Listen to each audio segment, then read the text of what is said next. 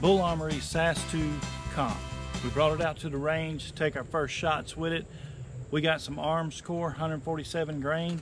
They suggest that you use 124 grain or higher in the firearm. I did put the Mantis on the front so I can collect some data on the firearm as we shoot it. So this is actually my first shots with the gun. Let's see how this goes here.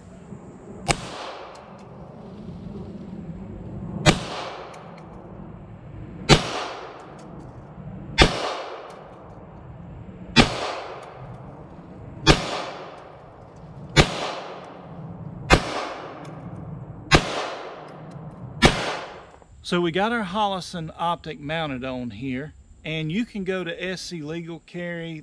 They show you how to alter the plate on the bottom of your Bul Armory SAS so that it'll accept your Holosun mini optic on this firearm. A little bit of work has to be done to it to make it fit, but works out really good on there.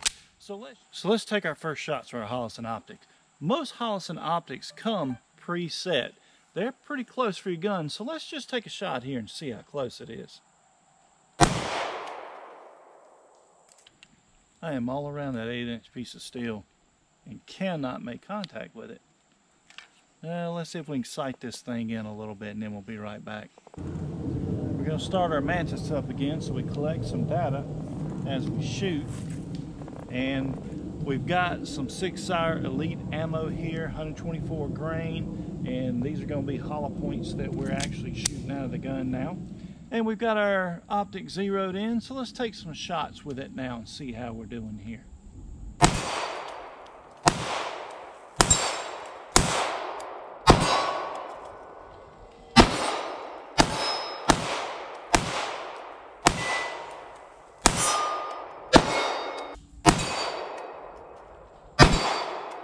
I really like the way this thing shoots. It actually feels really good in the hand. I don't think it's too terribly snappy myself. And we are clear. Slide forward and hammer down. Let's reload do a little more shooting with it.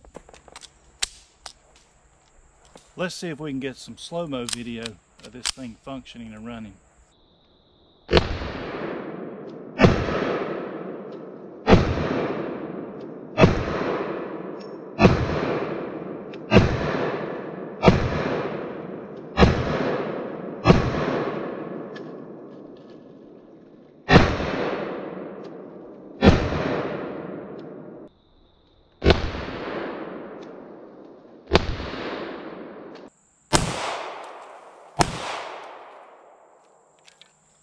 We are clear, slide, and hammer.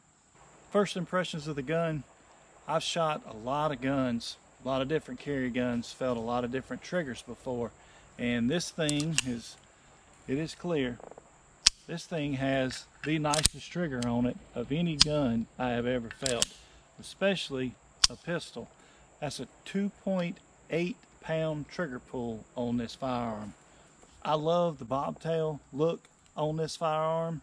I like that little flat trigger that they've got on the gun there. And I like the safety, the thumb safety on it too. It's easy to hit, hold down.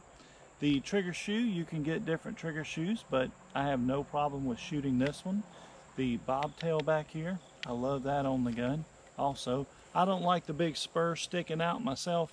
I get such a high grip on the gun and push up right here as I squeeze the gun and I actually push the back of this rooster tail up and re-engage the safety. But I don't do that on the bobtail 1911 style guns. This is a 2011 1911 style firearm. I like the comp on the front of it. The comp, I think the comp is definitely pushing this firearm forward when you shoot it. I'm very pleased with the gun and I'm just going to continue to shoot and put rounds through it and see how it performs for me. Don't push your responsibility as an adult off onto a child. Buy gun locks and gun safes. Till next time, folks, take care.